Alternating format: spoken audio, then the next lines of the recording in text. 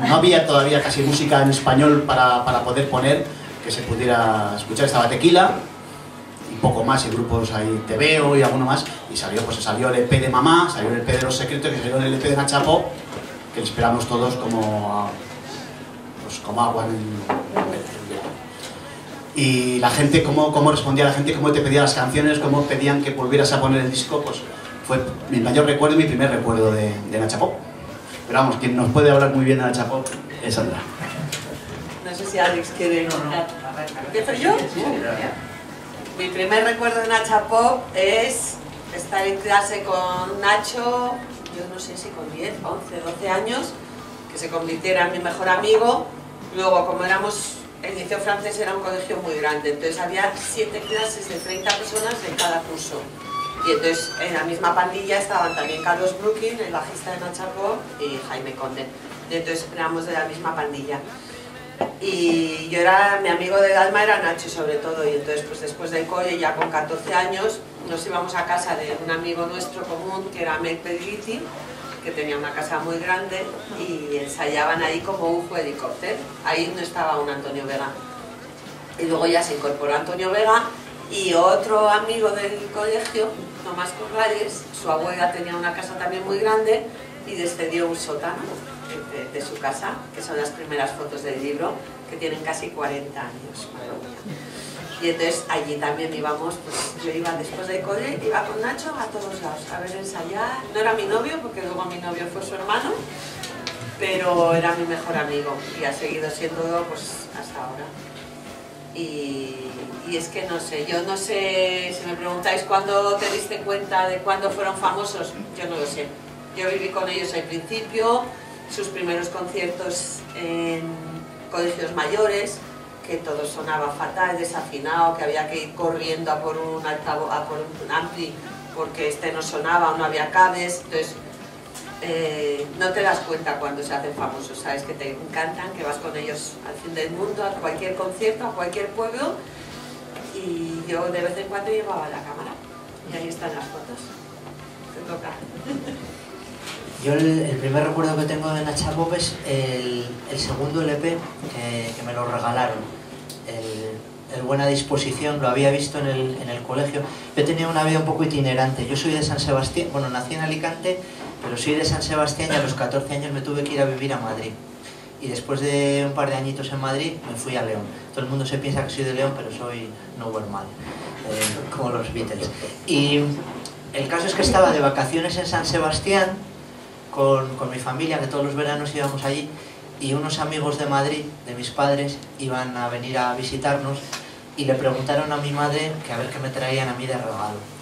Y entonces a mí se me ocurrió que como casi no tenía discos y me estaba aburriendo como una hostia en el veraneo familiar, que estaría muy guay que me regalaran el disco de Nacha Pop, que era buena disposición. Entonces mi madre se lo dijo a su amiga, pues mira, me ha dicho Alejandro que él quiere el disco de Nacha Pop. Y la amiga de Madrid de mi madre dijo, ¿y dónde voy a conseguir yo en Madrid el disco de Arancha Pop esos? Me volvieron a preguntar y entonces yo ya le expliqué que no era Arancha Pop, que no era un grupo vasco, que era Nacha Pop, que el disco tenía una foto, un dibujo súper chulo de- del edificio Capitol y llegó ese disco a mi casa y como el verano para mí era muy largo, muy aburrido porque era mi etapa adolescente insoportable, pues me encerraba en la habitación y escuchaba las canciones una a una. Es de esas épocas que hemos tenido algunos de nosotros en los que un disco te duraba todo un mes y no veías otra cosa. Y el primer concierto, la primera vez que les viste, eh, El primer concierto fue en 1982 en la Plaza de Toros de Navacerrada, que tocaron con Bulldog, un grupo de rockabilly, de efímero recorrido, y Los Secretos. Que no habían sacado todavía, no, desde su segundo LP creo que todavía no lo habían sacado. Y luego, eh, como final, Nachapo. Y estábamos en, en verano, estábamos en Segovia y nos, nos dijo un amigo, oye, pues tocan en Nachapo en Navacerrada. Vamos, vamos, vamos. ¿Cómo se hacían?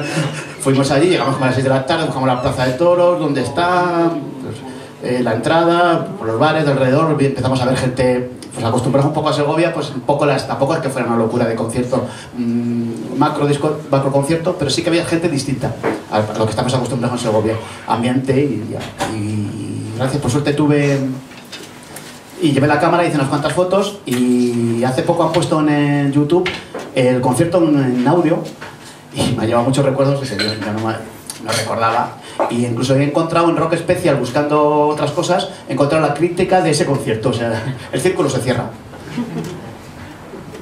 Yo mi primer concierto, concierto, no ensayo. concierto, no ensayo, creo que fue, además es que es curioso, porque ayer hicimos una entrevista en la radio, ¿fue ayer? Sí. Sí, con Joaquín Rodríguez de Dos Nikis y con Alex, y él me dijo, la primera vez que toqué con Nacha Pop de telonero fue en un colegio mayor, y ese fue uno de los primeros conciertos de Nacha Pop, en el que en mi coche tuve que llevar un ampli porque se había estropeado el cable del ampli y no sé qué, y la única que tenía coche y conducía era yo. Sandra, vamos a por el ampli, pues vamos a por el ampli. Y yo creo que ese fue mi primer concierto, pero no, me acordaba que los Nikis habían sido teloneros. Muy divertido la entrevista de ayer con Joaquín porque a Joaquín le preguntaron qué podía contar el de Nacha Pop y decía que a él lo que le daba era muchísima envidia, ¿verdad? Malsana. Mal- malsana envidia y, y ahí dio unos capotazos muy interesantes Joaquín al, al preguntar. Pero yo estoy seguro que igual, igual a Joaquín le, le gusta Nacha Pop, seguramente le gustará. Pero en aquella época había una especie de enfrentamiento ¿no? entre los grupos de guitarras, de pop clásico, de armonías vocales y las bandas que eran como más rompedoras. O, no llegaba a ser el rollo hornadas irritantes, pero bueno, era un poco eso. ¿no? Y entonces yo estaba esperando a ver qué es lo que respondía ante, ante esa encerrona de la presentadora. Y dijo que él cuando oía hablar de Nacha Pop lo que sentía era una envi- envidia malsana porque ellos fueron teloneros de los Ramones y los Nikis. Eso me parece muy bien. El primer concierto, bueno, el primer concierto de Nacha Pop, que, que chorrada, el único concierto de Nacha Pop que yo he visto, Nacha Pop en su formación original, fue cuando vinieron a mi ciudad, a León, a presentar el tercer álbum del, del grupo, más números, otras letras, en una sala como muchas de otras de la geografía española, se llamaba la, la Mandrágora, una sala desaparecida. El cartel para ese concierto lo hizo un diseñador, un ilustrador de León, que a lo mejor alguno de vosotros conocéis, que se llama Martín y que ha hecho muchos diseños para Subterfuge. Todos los recopilatorios del sello Subterfuge están diseñados la portada por él. En aquella época, la gente que hacía los conciertos de León le encargaba carteles a Martín. Entonces el cartel de, de ese concierto de Nacha era una chica preciosa, Sixties, con, un, con el pelo cardado y una coleta así hacia atrás. Y ese, ese cartel estuvo decorando la cabecera de, de mi cama durante, durante unos cuantos años. Y, y fue un concierto muy divertido. Venían de tocar del norte, no sé si era de Asturias o del País Vasco, y llegaban un poco tocados. Había una especie de leyenda de que se metían mucha caña los Nacha. Y nosotros teníamos mucha curiosidad por ver cómo eran en directo. El directo de aquel momento, yo sé que Carlos estaba en la mili, debía estar en Francia o estaba fuera del grupo y entonces venía tocando un chico que se llama Marco. Marco, Marco Rossi, Marco Rosa o, algo así, Marco Rosa. Y, también corría la leyenda, que no sé si es verdad, es que aunque compartimos muchas horas, eh, Sandra y yo tal, me da mucha pereza y mucha vergüenza, sobre todo, andar acosando la pregunta de ¿es verdad que Marco Rosa era vecino de Antenueva como un, como fan loco? ¿sabes? Porque son las cosas que nos contaban y, y esa sensación de, de chavales de provincia que están ante su grupo favorito, ¿no? Recuerdo que estaba Marco Rosa tocando el bajo, recuerdo que tocaba un poco de espaldas en algunas canciones porque yo creo que no se las sabía. Yo ya tenía grupo y ya más o menos me fijaba en cómo tocaban los, los músicos. A las teclas venía tocando no, Esteban Hirschfield. Esteban Hirschfield estuvo una temporada, la- estuvo en esta época y después cuando grabaron una décima de segundo. Esteban era un músico que nosotros conocimos a través de Nacha Pop, luego tocó con Gabinete Caligari, tuvo un grupo llamaba Los Nativos. Lo que descubrimos un par de años después de que Esteban llegara aquí es que en los años 60 había tenido un grupo en Montevideo que se llamaba Los Mockers, que es un grupo alucinante de garaje 60s. Y entonces Esteban ha hecho todo, el- todo el recorrido, ¿no? Desde la movida Beatles, Rolling Stones, garaje, llegó a España, la nueva ola, ha estado en todos los lados. Y el concierto fue muy flipante. Les estuvimos esperando fue flipante dos cosas que yo recuerdo. Una que es, algo se estropeó, como dice muy bien Sandra, eh, los conciertos caóticos de los años 80 eran así. Siempre se fallaba un cable, la guitarra se desafinaba, alguien se quedaba fónico, algo pasaba, algo falló y tuvieron que parar el concierto. Habían sacado hacía una semana el disco y venían a presentarlo pero con pocas esperanzas de que alguien conociera las canciones. Y mi pandilla, eh, yo éramos muy fans y nos pusimos a cantarles magia y precisión a voz en grito, para, para que vieran que León había nivel. y entonces yo recuerdo la cara de ellos de, de decir, oye, pues hace ilusión. Yo también me acuerdo de ver a 091 presentar el segundo single en León, cuando tocaron El deseo de ser piel roja, yo estaba en primera fila cantándola entero para que Antonio Arias se, se pusiera como un pollo. que, oye, ahí tenemos un fan. En... Esas cosas, yo las recuerdo que las hacía cuando estaba en el público y ahora cuando veo los conciertos de Cooper o de los flechas de verdad también me hace ilusión que la gente las Yo lo hacía, pero el problema es que los músicos me oían y... no ponían buena. Bueno, el caso es que al terminar ese concierto, eh, con unas amigas y con mis amigos nos quedamos en la puerta de la sala esperando a que salieran. Ya sabéis que la mayoría de los grupos siempre salen por la puerta de atrás y al final no les ves. Nosotros nos quedamos, éramos bastante pardillos, nos quedamos en la puerta de delante esperando. Y salió Antonio Vega, que yo creo que se había confundido de puerta. salió con una chupa de cuero, la recuerdo perfectamente. Lo que más recuerdo era un parche que llevaba en, en esta parte de la, de la cazadora, ¿sabes? en el refuerzo este de abajo, era un parche de squeeze. Eh, de, un, de, un grupo que en aquella época yo no conocía, pero del que ellos eran, eran muy, muy fanáticos. Y, y, una amiga mía, es ese rollo, estás esperándole media hora y cuando sale te quedas que no sabes qué decir y se va a ir y nadie le ha dicho nada. De repente Sira, que era una amiga mía, se lanzó para allí y dijo, oye, Antonio, está muy bien el concierto, ¿me puedes dar la púa? Y le dio la púa. Y ya nos quedamos contentísimos porque teníamos una púa. Y ahí se acabó toda nuestra aventura. Voy a tocar un par de canciones de, de Nacho Pop y luego seguimos charlando. Eh, voy a tocar una canción primero. Estuvimos haciendo esto en León el otro día y, y me apetecía cambiar de temas. Entonces me medio ensayado una que me gusta mucho. El primer LP es de Nacho. A mí me tocó en el grupo, en el primer grupo en el que yo milité Opera Prima, ser Nacho García Vega. Mi amigo Pacho era Antonio Vega, el, el, que, el intimista, el que hacía las grandes letras, y a mí me tocaba ser el efervescente. Desde entonces soy el efervescente de la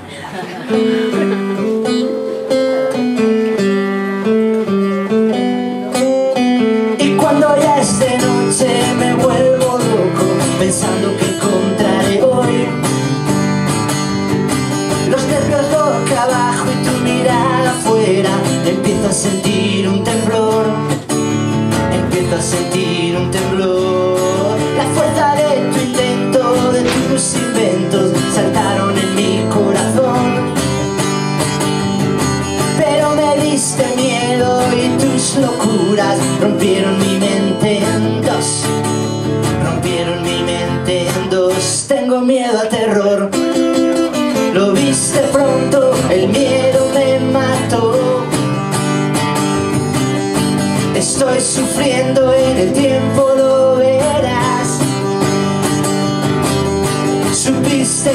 que tu adiós me horrorizó que tengo miedo al terror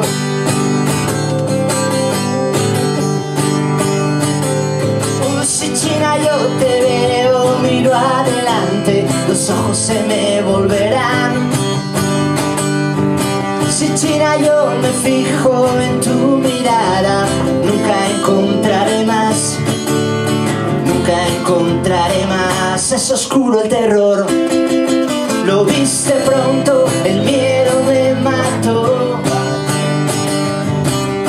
Estoy sufriendo en el tiempo, lo verás. Supiste que tu adiós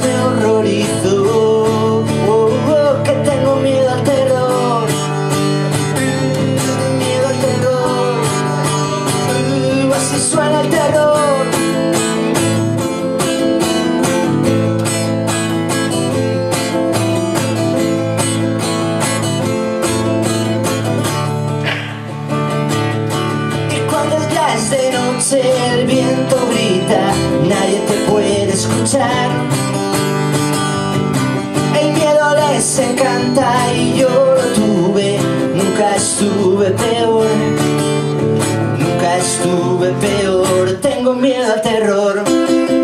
Lo viste pronto, el miedo me mató. Estoy sufriendo, en el tiempo lo verás. Supiste que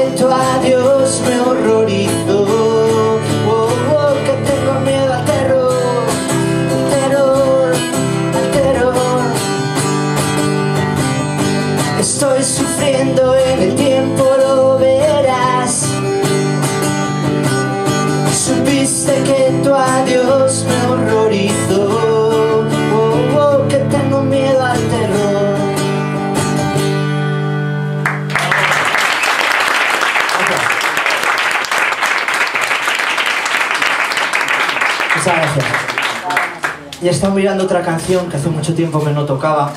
El otro día estuve hablando con Xavier Baliño.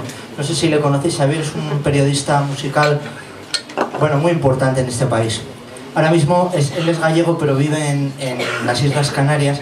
Hizo un artículo muy chulo sobre el libro de Sandra para la revista Ahora Digital FM, que antes era una revista que salía en papel, donde hablaba y contaba muchos detalles del libro y estaba muy bien. Y después, hablando conmigo por teléfono, me comentó que, que le habían pedido que eligiera 10 canciones de Nacha Pop para hacer un artículo especial sobre las 10 canciones que a él le parece que no deberían de faltar en el podcast de, de una persona que quisiera escuchar temas del grupo, ¿no? Y me leyó la lista de las canciones que había elegido él y en las alternativas, ¿no? Y yo, a ver qué me parecía como fan de Nacha y- y todo eso. Y le dije que estaba muy guay, que me gustaba mucho, pero que me faltaba ma- magia y precisión. Y le, dije que me faltaba magia y precisión, que me parecía que debía de aparecer entre las 10 canciones por varias razones. Una de ellas es porque es el título del, del libro, que, del único libro sobre la historia de Nacha que se había editado hasta, hasta ahora. Y otra porque es una canción que Nacha Pop grabó dos veces y seguro que hay un porqué. Yo todavía no lo he descubierto porque las dos versiones me parecen muy parecidas. La gente tiende a decir que la segunda es mucho más guitarrera. A mí me parece que son más o menos igual de, guitarreras y, y bueno, tiene, tiene una mínima diferencia, pero yo creo que, que les gustaba tanto que no querían que se desperdiciara y la volvieron, y la volvieron a grabar. Pero la razón principal es porque Magia y Precisión me parece un título que condensa perfectamente lo que, lo que son Nacha Pop, ¿no? La mezcla entre el espíritu eh, volátil y, creativo de ese, ese golpe de, magia que tenían las canciones, que no sabes muy bien de, de dónde te viene, y luego la, precisión de, la técnica, de la, de, ¿sabe? la minuciosidad de- a la hora de, crear y, de componer que tenían los dos miembros más activos de- del grupo. Me parecía que condensaba muy bien. Afortunadamente Xavier me hizo caso y metió magia y precisión y quitó una de las suyas. Y, y os la voy a tocar ahora. Es de esas canciones que tienes que gritar, porque tienen un, un registro que a veces es bajo y a veces es alto. Y bueno, a mí me queda un poquito así de aquella manera para la voz, pero, pero yo creo que molará.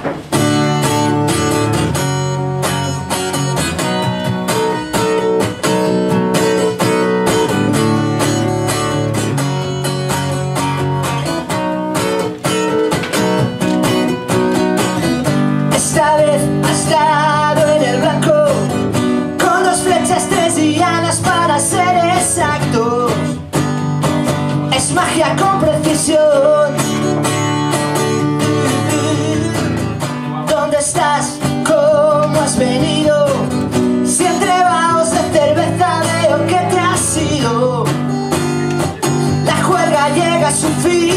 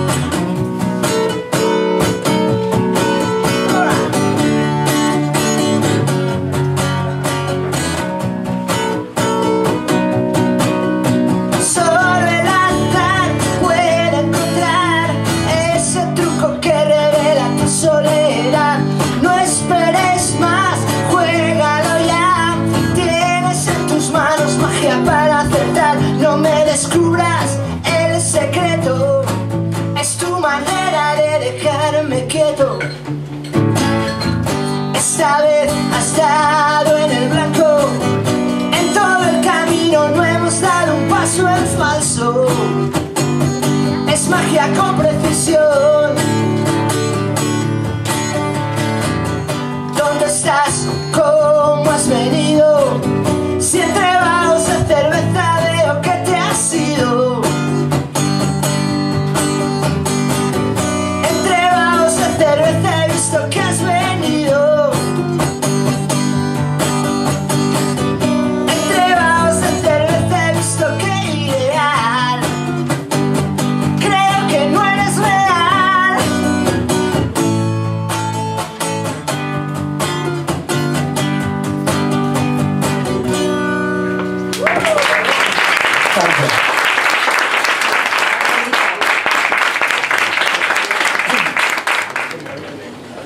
Cuéntanos, ¿cuál es tu canción favorita de ellos?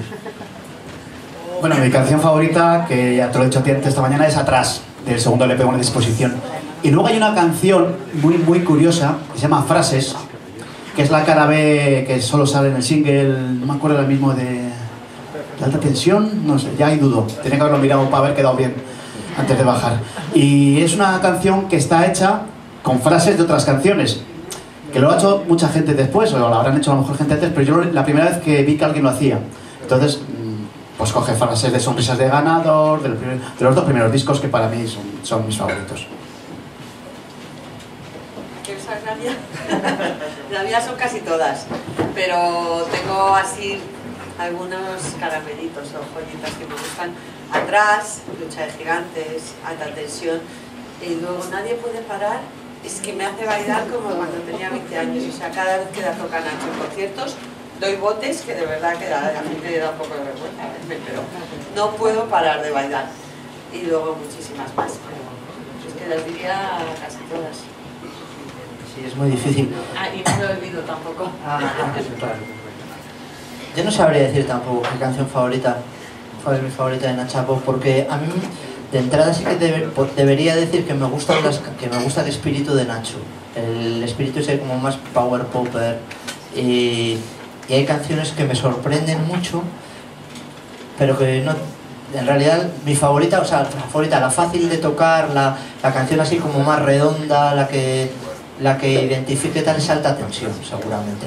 Que es una canción que incluso ha habido un colectivo de gente muy amantes del power pop que la han utilizado para, para darle nombre a su, a su grupo, a su página web y a, todo su, su club.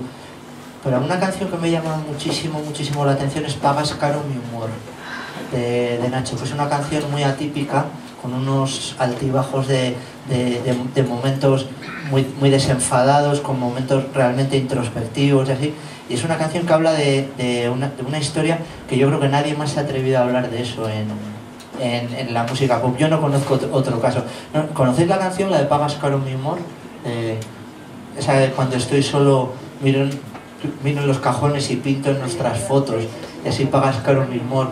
Te dijeron, ten cuidado con este, es bueno pero tonto, jaja, tontos son ellos. O sea, es, es, es descarnadísimo. Y al final, cuando, y al- cuando llega al final de la canción y cuando dice lo de todo lo que dije pensé que era gracioso y ahora veo que no, eh, si hay algo fuera o lejos de mi alcance, mejor lo escondes antes.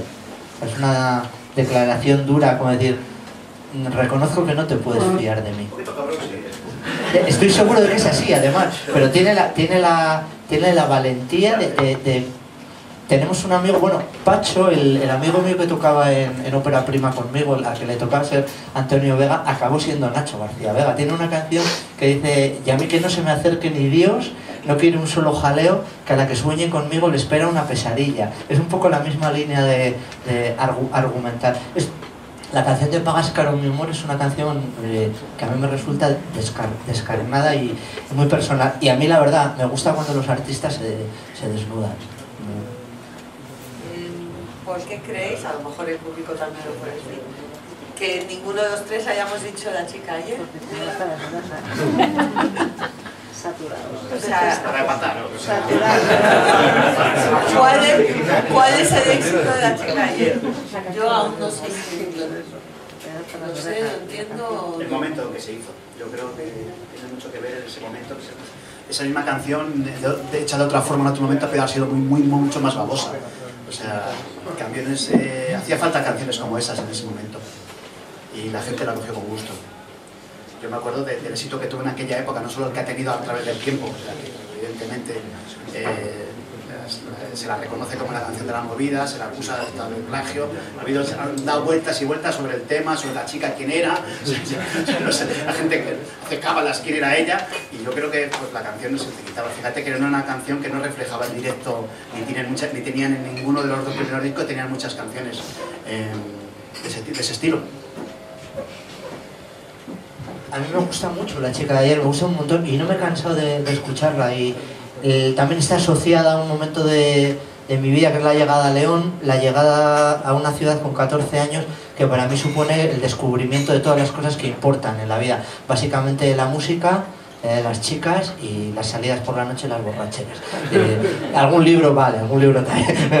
Pero, en, en, el fondo, es, no, es, es, la época del primer beso, el primer concierto, el primer fanzine, de la primera salida por la noche, el primer todo, ¿no? Y, esa, canción creo que marcó el primer de, de, de mucha gente. De hecho, el, primer baile agarrado que yo me hice en mi vida fue con la chica.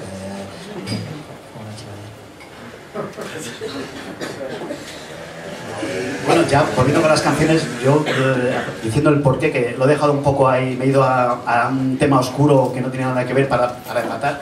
Atrás me gustaba mucho el tema que trataba que era la amistad entre dos, dos adolescentes, que estaba por encima de, de, de, las chicas, de la familia, de, de, los del colegio. Siempre tienes un amigo con el que, al que podías llamar, al que podías quedar, el que, que te veía, sabía dónde iba a estar. Y, y la traición que, que, que tiene. Entonces siempre me ha, lo he sentido mucho más que con lo de las chicas, porque que te traicionan las chicas, lo entiendes, pero que te traicionan amigo. Bueno, ¿tenéis alguna pregunta, alguna curiosidad que contarnos? Esto es un diálogo abierto para que nos contéis vuestras todo, todo lo que queréis decirnos también, ¿eh? o sea, que, que si en algún momento nos queréis interrumpir, nosotros estamos encantados. En realidad volvemos a recordar que estamos aquí presentando el libro No, no me olvido.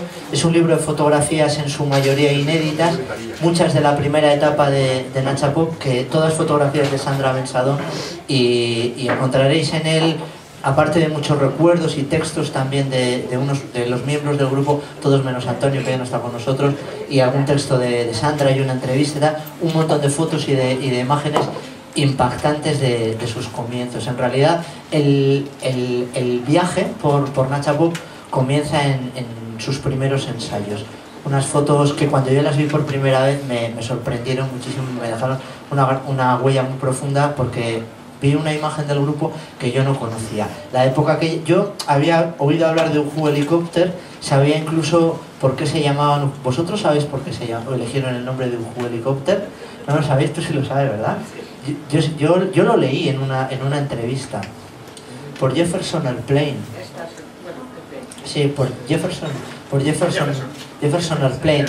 Y decir que tiene que ver un helicóptero con Jefferson Airplane, yo no tenía ni idea tampoco.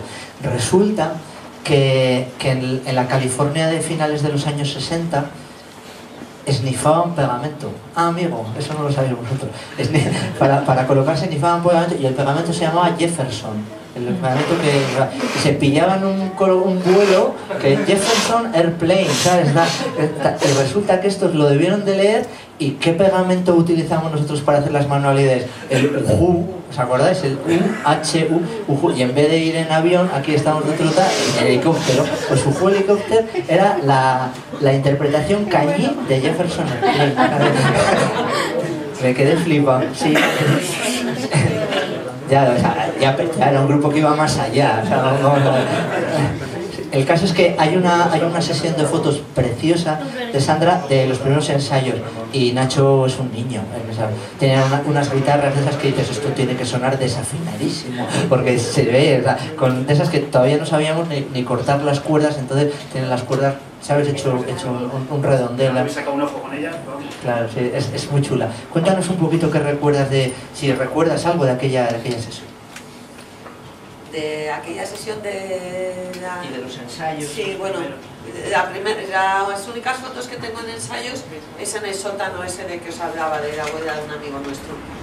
Y fue un día que íbamos, y fui muchos días, pero un solo día llevé la cámara de fotos, íbamos muchos amigos a verles y tocaban y ensayaban y afinaban y no sé qué, o sea, al final eran horas y horas y horas pero era súper divertido porque eran amigos nuestros. No, y lo que os quería decir, o lo que decía Alex, que esto es como un recorrido así un poco distinto.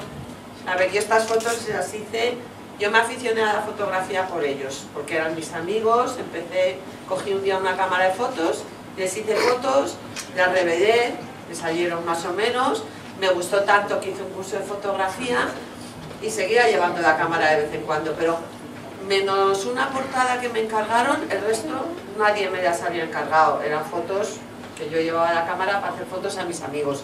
Entonces, yo creo que se nota que no son fotos encargadas, no, no son fotos que me van a pagar ni nada de eso, ¿no? Yo las hacía y se las regalaba a ellos. Y todos ellos tienen fotos en papel mías, pero hasta que ya vi que todos los negativos podían hacer un libro, ya fue otra cosa, ¿no? Pero bueno, ese es el recorrido un poco que dice Alex del libro, de... son fotos distintas. Incluso las fotos en concierto, yo, aunque era amiga de Dalma y podía haberme subido al escenario a hacer las fotos, yo todas las fotos de Rocola, de Sol, todas están hechas entre el público. O sea, yo era como una más de ellos, pero del público, de lo que yo veía y lo que veía el público. Y bueno, creo que se reflejan las fotos, ¿no? Al principio son bastante malas mis fotos, lo reconozco, y luego creo que voy mejorando. Hice un curso y fui aprendiendo también. Pero dicen mucho, dicen mucho. En un momento de publicidad hay libros para, para vender, pero si no queréis comprar, consejo que os acerquéis y lo ojeéis, hay confianza, que os van a sorprender. A mí me han sorprendido, había visto algunas antes de que me trajeran el libro, y de verdad, si queréis por lo menos verlas, saber de lo que está hablando, os acercáis a uno de los libros, cogéis mi copia, lo veis, lo ojeáis, y oye, si os gusta lo lleváis, y si no, pues nada. Pero de verdad, acercaros que os va, os va a sorprender, gratamente. Eh, está con nosotros Mario Álvarez, que es el guitarrista de mi grupo, de, de Cooper, y también es un gran seguidor de, de Antonio Vega y, y de Nacha y nos va a interpretar un par de canciones de las que tiene él preparadas de su repertorio.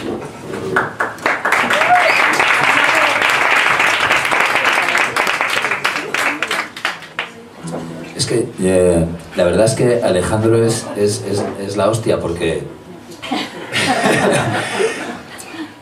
las canciones que él ha tocado sí que les pega más, pero de pie yo soy mucho más joven y mira, aquí estoy, un inválido. Pero bueno, le pega más.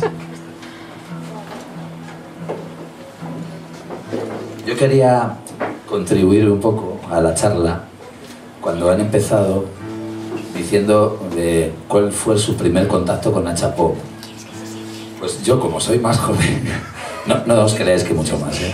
pero, pero es claro, y más en esa, en esa década que era todo como a, a mil por hora y tal. Eh, yo tenía un, unos, un amigo que su hermano mayor era hiperfan de Nacha Pop. Bueno, y, y, las cintas de cassette que tenía, nosotros escuchábamos de todo. Pues Iron Maiden, porque este tenía tal, Apoya Records, etcétera, ¿no? Y tenía un, eh, creo que era, no sé qué, disco era, creo que era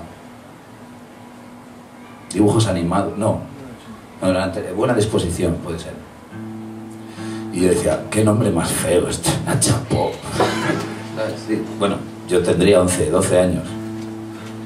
Y claro, tiene canciones muy complicadas, sobre todo armónicamente, que cuando, cuando, cuando eres más joven además eh, tienes más armonías como Déjame, de los secretos, y la verdad es que Nacha Pop tienen canciones con unas armonías bastante raras, por decirlo, no raras, pero complicadas y tal, que yo pues, me parecía un poco un grupo un poco raro.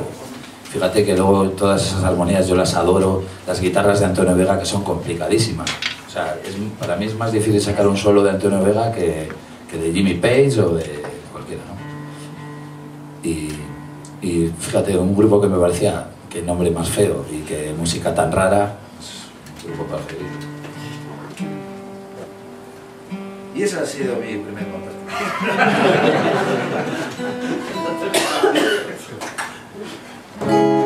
Era para mientras afinaba, pero bueno. Yo voy a ser más convencional.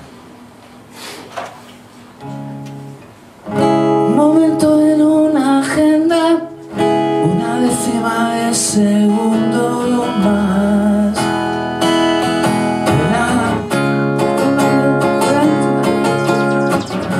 Millones de instantes de que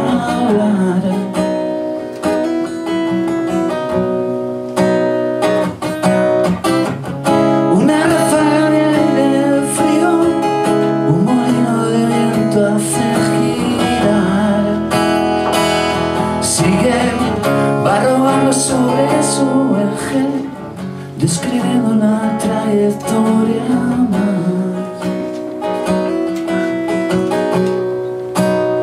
Y es que no hay nada mejor que nada, la física es un placer.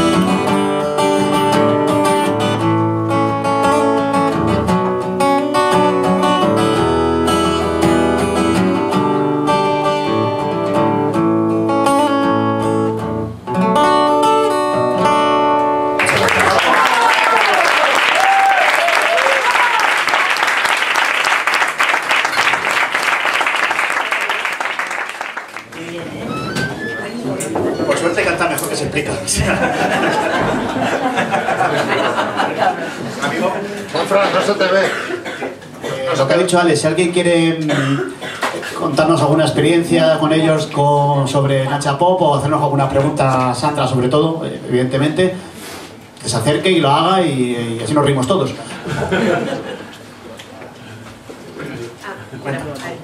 Eh, bueno, habéis, mencionado antes grupos que ves un poco referencia en los comienzos, que son los secretos Mamá y Nacha Pop.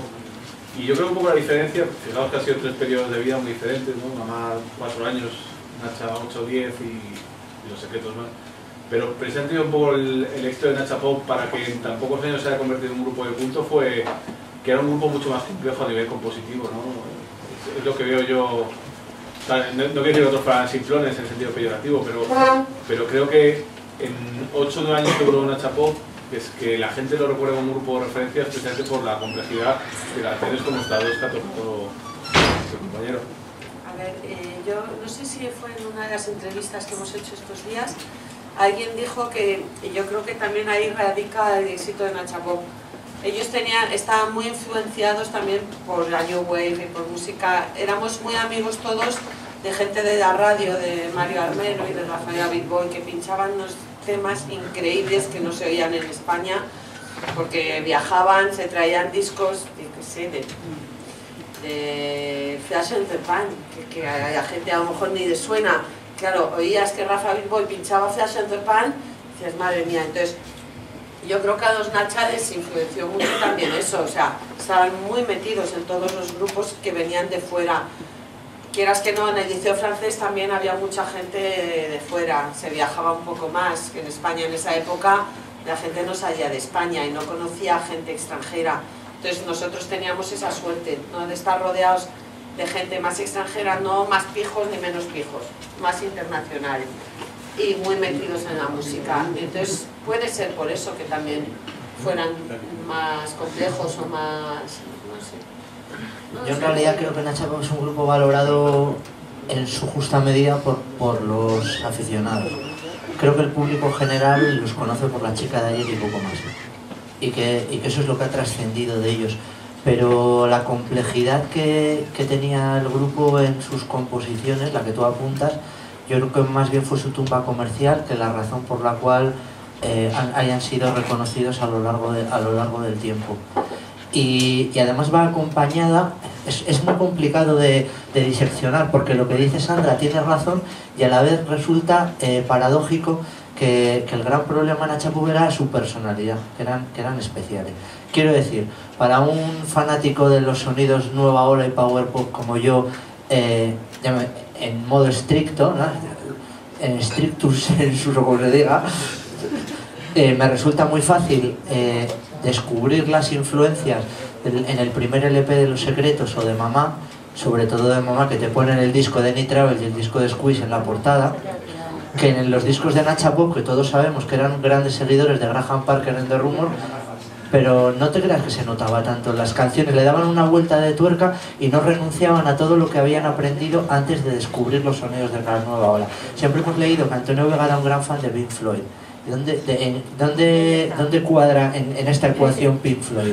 Pero en su manera de tocar, él no renunciaba a lo que, a lo que había aprendido antes y lo, lo adaptaba. Hay canciones que son power pop por el libro, ¿no? Todos estamos pensando en qué hiciste conmigo anoche, o igual que son las que más me molaban a mí, por, por cierto. Pero luego tienen esa parte de, eh, de, de vértigo, que, de vértigo que te, que te, que te ofrece Nacha Pop, que, a ver, ¿a qué suena luz de cruce? no suena a nada, suena a ellos. No, no, puedes, no puedes identificar de una manera sencilla. Que en el fondo es un poco lo que pasa cuando, cuando escribes una canción en inglés y tú sabes por qué la has escrito, de dónde te vienen las influencias de esa canción, y las estás reconociendo y estás jugando en terreno familiar, en terreno conocido. Y de repente le pones la letra en castellano y ya no suena eso, suena otra cosa totalmente distinta y te empieza a entrar el vértigo, que es un vértigo que al principio asusta mucho, a los compositores nos asusta mucho y que al final es el que nos, el que nos engancha, el que nos gusta, porque nos creemos que hemos hecho algo personal, cuando en el fondo estamos mezclando estilos y ¿sabes? Pero, y en el caso de Nacha Bob es que yo creo que tenían demasiada personalidad y que por eso no, no funcionaron. Creo, ¿eh? No sé. Eso es lo que he dicho yo antes.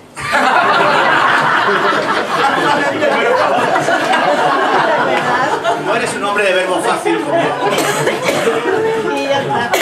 Al hilo de lo que estás diciendo, a mí lo que se me ocurre es que eh, yo creo que, y sobre todo entrando en foros ahora en internet, en Facebook y tal, ves que mucha gente lo que tiene sobre todo de Nacha Pop una imagen, sobre todo de Antonio Vega, cuando yo lo que creo es que se olvida mucho de que Nacha Pop era un grupo, que ni siquiera era Nacho Antonio, sino que eran todos. Entonces, no sé qué opináis de, de- de- de esto. A mí la sensación es eso, que la imagen de Antonio Vega como que ha comido un poco, ha eclipsado eh, la imagen de, o que ha, sub- ha- ha subido demasiado la, la imagen de Nacha. Sí, además incluso ha tenido un final triste, que a la gente le gusta mucho los finales tristes, entonces eh, queda mucho mejor para el recuerdo como acabado Tono, pero por suerte tenemos a Nacho y, y sus nuevas canciones. A mí, por ejemplo, hablando de esta historia de las influencias, eh, no sé por qué razón algunas veces los grupos jóvenes me- me piden consejo. No sé qué cabeza les cabe, pero me la piden. ¿Qué es lo que gusta? ¿Qué es lo que escuchas? Pues Nacha Pop y tal. ¿Y por qué no escucháis lo que escuchaba Nacha Pop? Graham Parker, Elvis Costello, ese tipo de historias. No, es que a mí me gusta Nacha Pop. Malvas. Hemos dado muchas vueltas estos días hablando con Sandra y algunas entrevistas así al asunto, a un asunto que a mí me trae de cabeza y es la música que se escuchaba en Madrid en, en esta época, en los años 80. Eh, porque estoy muy flipado por haber descubierto demasiado tarde, bueno, eh, que, que hay un montón de cosas que yo pensaba que llegaron a España en un momento determinado que llegaron muchísimo antes, solo que se enteraron muy pocos. Como chico de provincias, vosotros, hablaba antes con Juanfran, también sois de provincias, pero menos, porque estáis más cerca de, de- Madrid y, y se puede ir más veces. Yo recuerdo que la gran, la gran frontera, la gran barrera en la música estaba entre lo que se editaba en España y lo que no estaba editado aquí. Entonces eran discos de importación. Y recuerdo el choque que, que supuso para mí el primer viaje a, Madrid. Yo creo que fue a comprar discos ya con los flechazos, después de haber grabado el bidón de gasolina, antes del primer LP, en el año 80, sí, en el año 86 o una cosa así. Había una tienda en, los- en unos bajos en Gran Vía, que no, era una tienda enorme que... era- no, era Discoplay, yo creo, ¿no? Los, los sótanos de... Era, era Discoplay. A ver, yo iba buscando discos de los Small Faces, el disco de los Small Faces que había en España en la historia de la música rock, y no había, no había otro. Y de repente lle- llegué y había una cubeta que ponía Small Faces y había 12 discos distintos, con portadas distintas, y eran todos editados en Francia o editados en, en Inglaterra. Y el acceso a eso en ese momento no no lo pude eh, asimi- asimilar, no me di cuenta. Pero el caso es que cuando cayó en mis manos el libro de música moderna que escribió el zurdo sobre en el año 82, puede ser, ese libro, puede ser del año 82, eh, explicaba la música que oían ellos y me caí, me caí para atrás porque hablaba de Tom Verlaine, hablaba de Magazine, hablaba de un montón de bandas americanas que yo no pensaba que escuchara la gente aquí en España. Y después de repente, en el libro de Sandra, Sandra le pidió textos a, todo, a todos sus, amigos del grupo y hay un texto revelador del primer batería de Jaime Conde explicando cómo hacían Nacha Pop en los ensayos versiones de Eddie and the Hot Rods. Y, y me quedé, aparte de que me sorprende, porque no te pega que a ellos les, les gustara eso, pero que sí que les gustaba, lo que no puedo entender es cómo les, cómo les había llegado Eddie and the Hot Rods a ellos. Ahora mismo estoy trabajando en un libro que, es secreto y no lo puedes decir fuera de aquí y apaga la grabadora, pero es un libro sobre los elegantes y lo está escribiendo Emilio de, los elegantes y también cuenta muchas anécdotas y habla de cuando tocaron en Murcia con Eddie and the Hot Rods los elegantes de teloneros y me estoy empezando a poner nervioso al darme cuenta de todas las cosas que me he perdido y que ellos ya llegaron, eh, influencias que tenían asumidas e, e interiorizadas y que no lo entendíamos.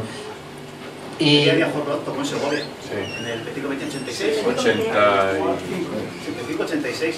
sí, o sea, es un grupo que dejó una, una huella... O sea, tenía piso. de- dejó una huella y a, y a mí me, sor- me sorprende mucho saber que todos esos grupos, porque en realidad eh, lo que dice Juanfran estoy totalmente en contra de lo que, de lo que, de lo que ha dicho de los chavales que no quieren oír la- la- las, las influencias. Yo lo entiendo y me parece natural.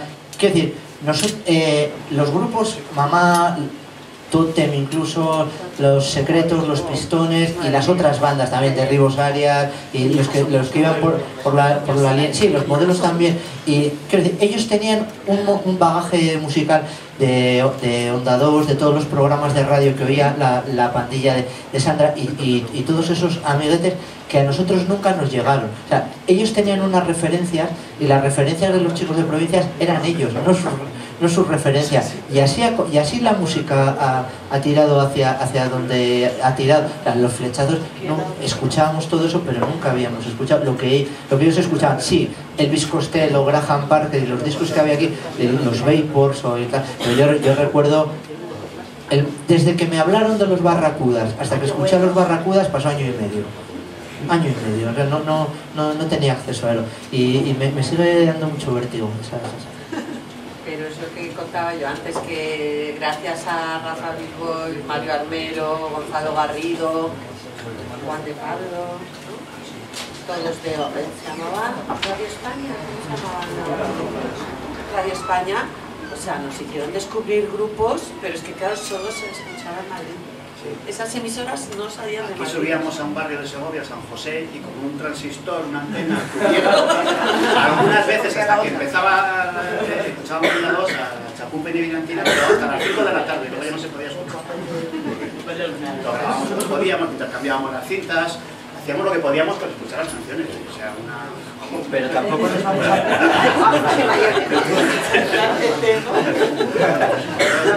pero, tampoco nos vamos a poner estupendos pensando que ellos tenían acceso a, a todo y que tenían tal, porque en el libro también cuenta, Nacho, García Vega también cuenta que esas fotos del, del primer concierto en la Sala del Sol, que le dan un poquito de bochorno porque lleva la blusa de su abuela. Quiero decir, a veces, algunos tenían una ropa que te mueres traída de Londres y otros no tanto, que podían de aquella manera. Eso tiene mucha gracia. Es un detalle como muy en- entrañable, ¿verdad? Guay. Yo quiero reivindicar para conocer música en los 80 en los bares. En Madrid ibas a cualquier bar, eh, me acuerdo San Mateo 6, que estaba en el número 6 de la calle San Mateo. Eh. El costelo que estaba en Malasaña, no el costelo de ahora, que era un sitio también podías escuchar una música que no podías escuchar lado. Por supuesto, no pedías ningún tema de que Simplemente ibas allí con cara al partido, favor, ¿esto qué es? Apúntame, la gente. No, no, no, no se podía nada. Y yo la mitad de la música que conozco era, preguntando, esto me gusta, esto lo conozco, pero yo iba a bares donde ponían música que no conocía, porque para ir a bares donde ponían la música que ya conozco me quedaba en casa. Pues yo lo que hacía, escuchaba siempre Champú y Brillantina o, o Revolver, lo escuchaba siempre, ¿no? O sea, no me lo perdía nunca y de pronto ponía pues a Big un tema que decía, Dios, ¿qué es esto? Me encanta.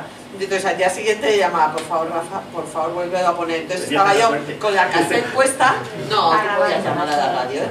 Y ponías la cassette, al rec, y la grababas como podías. Al rec, al rec, al las teclas. Y grababas el tema. Y era así. Es, es curiosa la mezcla así entre o sea, conciertos en directo, programas de radio, bares que programaban e incluso televisión.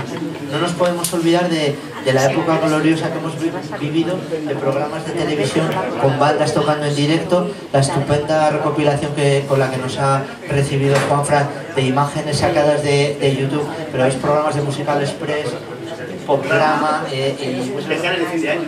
claro, son, son. Acaba de salir un vídeo. Ah, con niños, sí, sí, es verdad. El programa de Miguel Bosé, un programa de música de Miguel Bosé. Pero eso fue mucho después. El séptimo de caballería. Yo soy No. soy tan mayor, soy tan mayor.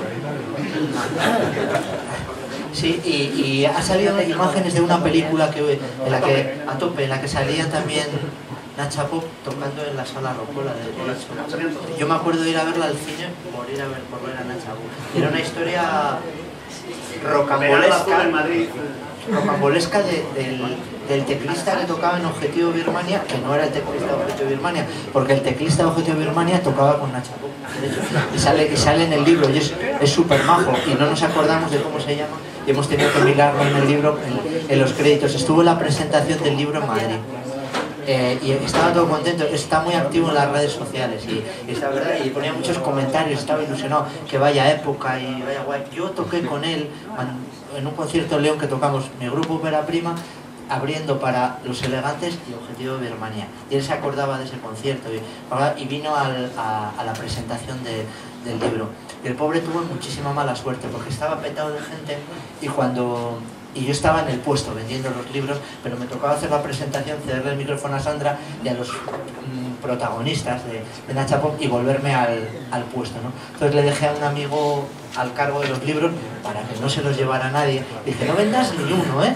No vendas ni uno, me los guardas y vengo en cinco minutos. Y justo fue cuando fue el pobre a, comprar el libro, todo ilusionado, y le, dijo el, amigo mío, no te lo puedo vender. Ahora no, no se puede vender, sé, pero si salgo yo en el libro, pues te quedas sin libro porque no se puede vender y tal. Y se pilló un rebote que te muere. Le, tuve que regalar el libro yo después porque para y se fue todo contento a casa con su libro. Pues ese era el teclista de Objetivo Birmania y, no podía hacer de protagonista. ¿Te lo imaginas de protagonista de la película? Hubiera sido brutal. Y, me encanta ver las, las imágenes de Nacha en, en la peli. Está genial. Y hay que este con el pelo largo. que- ¿Cómo sufrimos los grupos con los baterías? Porque no nos, no nos quiere contar Sandra, pero vamos a ver, veis una foto de un grupo y vosotros sabéis quién es el batería. Eso se sabe, siempre el que es el batería. En Nacha Pop el batería era Ñete y con esas melenas al principio, sobre todo. En la presentación de Madrid se- fui a saludarle.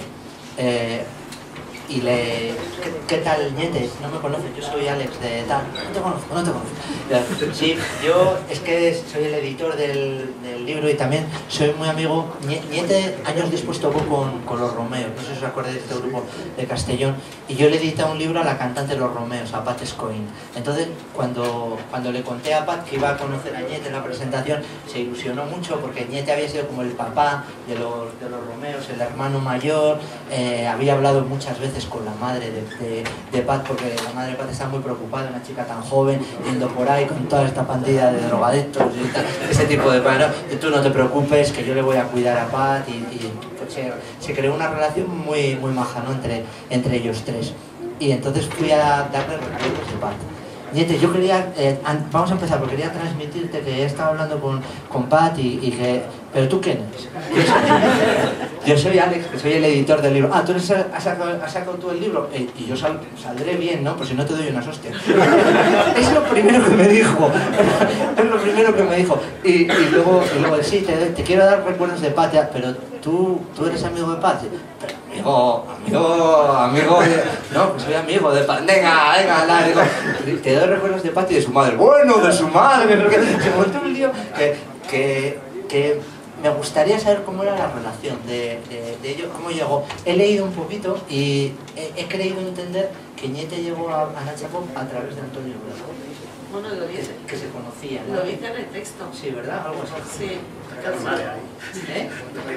No, no, en el texto de Niete dice que un día pues se llama Antonio, no, él llama Antonio y le dice, tío, mm, has vendido mi amplio, no sé qué, imaginamos que necesitaba dinero. Y vivía en Ibiza en esa época y dice, Antonio, pues no sé qué, no. Dice, oye, por cierto, ¿conoces algún batería? Le dice Niete, ah, yo. Y ahí empezó todo y, y fue batería de Nacha Pop. Y Fue genial porque yo les pedí a todos los miembros de Nacha un texto. A todos les mandé un primer boceto, una primera maqueta para que vieran qué fotos iba a utilizar y les pedí un texto. Les dije, me da igual que dure un párrafo, una página, lo que queráis. Sois libres y decid lo que queráis. Todos, por supuesto, por email, no sé qué. Y Niete me dice, bueno, vale, mándame la maqueta, pero ya te llamaré para decirte el email de mi mujer. Dos semanas. Dos semanas después me llaman y te apunta. Me da el email de su mujer y entonces le mando la maqueta. Un mes después me llaman y dice, ya tengo el texto. Digo, pues genial, ¿me, te me lo mandas? Me dice, ¿cómo que te lo mando? Digo, ¿no me lo puedes mandar? Me dice, no, vente al local de ensayo. Digo, ¿para qué local? Me dice, a General Perón, donde siempre. Digo, ¿sigues ensayando a General Perón? Me dice, claro. Bueno, pues me voy a General Perón, donde ensayaba él con Nacha Pop, o sea, hace 25.000 años. Y me da un papel, escrito a mano, Antes estaba texto. Y bueno, pues nada, lo transcribí como pude, pero él no utiliza ningún tipo de tecnología. Bueno, ni email, ni nada. Es un batería y muy, eh, no sé, como intuitivo pero innovador y técnico a la vez.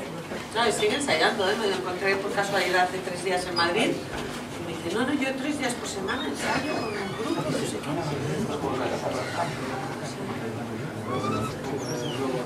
Yo he visto una foto con una guitarra. Sí, ¿Qué os parece si tomamos alguna canción más? Porque ya va siendo la hora de... Más que preguntarle. ¿Tenéis alguna pregunta para Sandra? Porque dentro de 10 minutos, un cuarto de hora, ella se va a marchar. Si os parece, lo que podemos hacer es que Mario y yo vamos a tocar algunas canciones de Nacha Pop, alguna más que tenemos preparada juntos. Y mientras nosotros estamos tocando, si alguno de vosotros quiere el libro y quiere que se lo firme Sandra, pues ella, justo aquí al lado, os lo puede firmar mientras vamos tocando. No, no es estamos aquí todos juntos, pasándolo teta. El sueño. Un, dos, tres.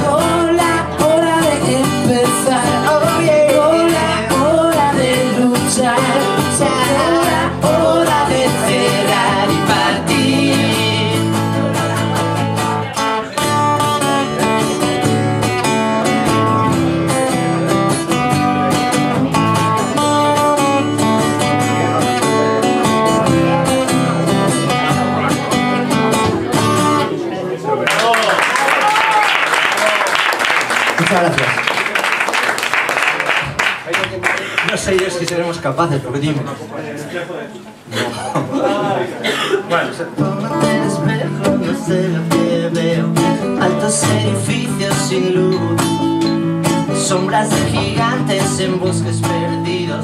Fotos que guardé en un baúl. La imagen es borrosa, no puedo verte mejor. Lejos de ti, el cuadro es otro color. Vengo bordeando la orilla más seca Oigo voces a un año luz Detrás de las colinas las brasas ardiendo. El último motivo eres tú. Pero la imagen es borrosa, no puedo verte mejor. Hasta el final te quise ver color esta es la típica cosa de Nacha Pop que ahora cambia de tono y no sé dónde está.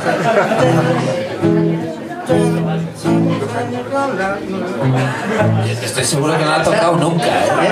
No, cualquier grupo, ¿sabes? Cualquier grupo podría tocar la canción desde el principio hasta el final, pero con Nacha te tienes que poner el tocadiscos y ver, la verdad.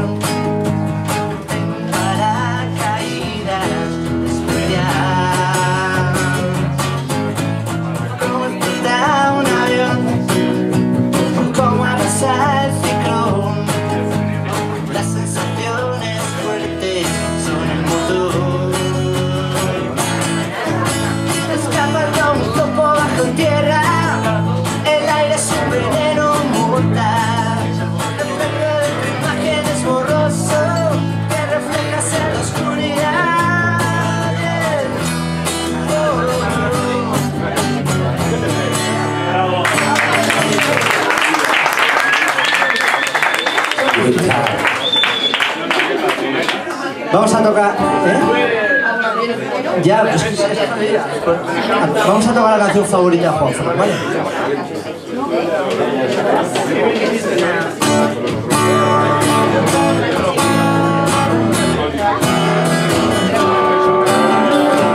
En la esquina de una calle se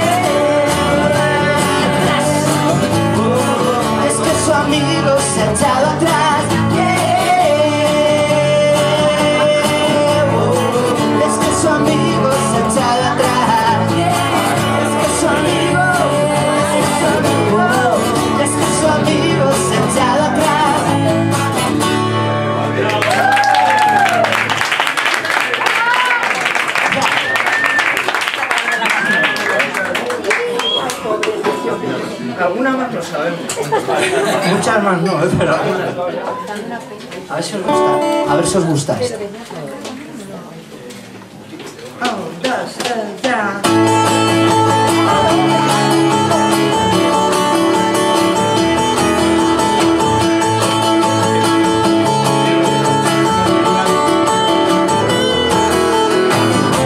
Un, dos, cables de alta tensión Esperan en el portal, nadie sabe que eres especial. Los voltios que iluminan tu corazón se están perdiendo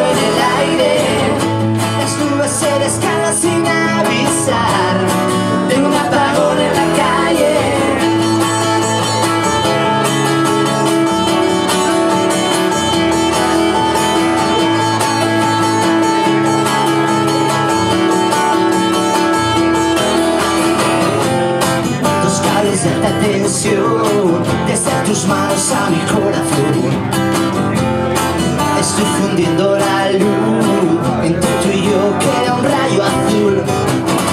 Los voltios que iluminan esta pasión se están perdiendo en el aire. Las nubes se los llevan lejos de aquí. Agárrate a los cables. Ya no me pregunto dónde estás. Luminoso viene y va.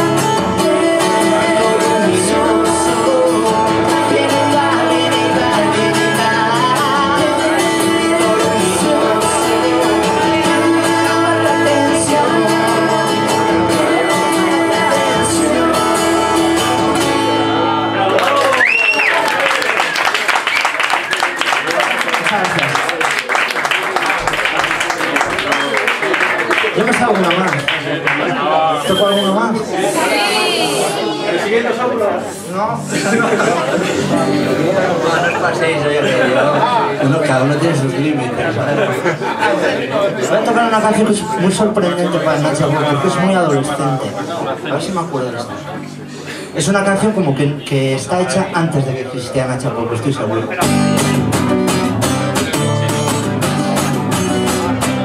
Se llama Eres tan triste. No sé si aguantaré tus palabras de pasión. Sé si aguantaré nena triste corazón. No sigas, por favor, es la hora de partir. Si llegas tarde a tu casa ya no podrás más salir. Eres tan triste.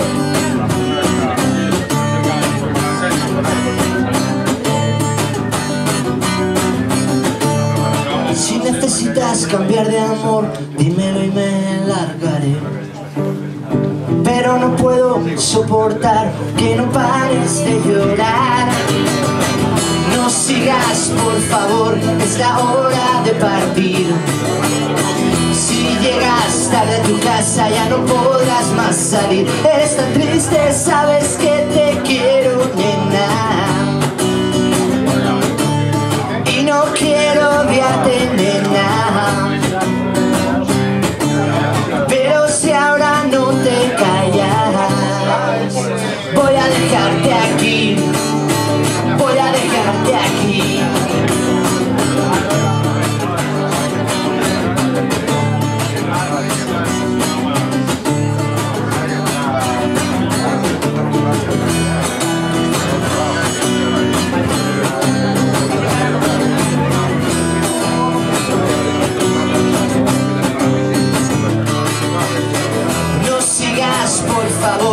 la hora de partir.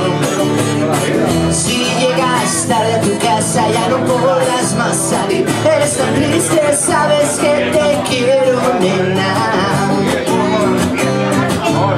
Y no quiero odiarte, nena. Pero si ahora no te callas Voy a dejarte aquí.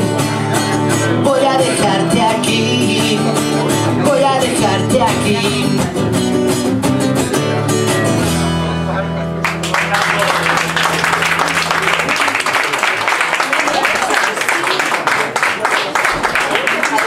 aplauso para Sandra. Muchas gracias, Sandra. Te despedimos con una canción de Nacho. Adiós. La última por esta noche. Gracias a todos por habernos acompañado a la presentación del libro. Ha sido muy divertido. Me ha pasado. Gracias. ¿Y yo cuál iba a tomar? La de... Ah, sí, la de... La que sale en la película de Atope. Que se llama... eh,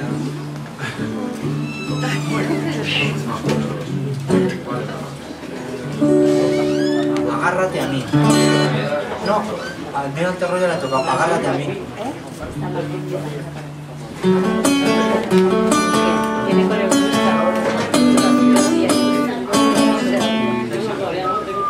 Lo que pasa es que en Agárrate a mí, bah, esto ya es karaoke total. ¿Conocéis la canción? Es que hay, hay una, hay, en el estribillo hay la voz principal y, y lo- y los coros.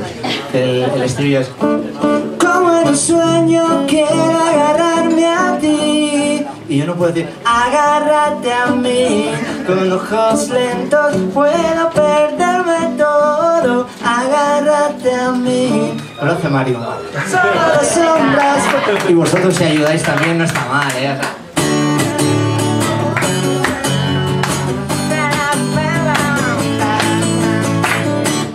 Venir aquí es venir al sitio donde espero yo gemidos de amor o esa sensación de solo piel sigo el calor. Tu rastro existe el que lo pierde soy yo. Te voy a atrapar